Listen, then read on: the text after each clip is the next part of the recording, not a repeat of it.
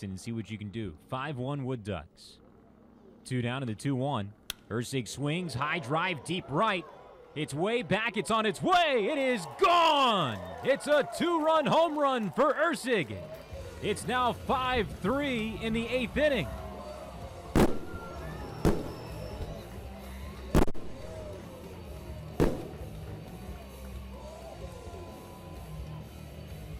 And that was a rocket right there. That's home run number nine on the year for Erceg.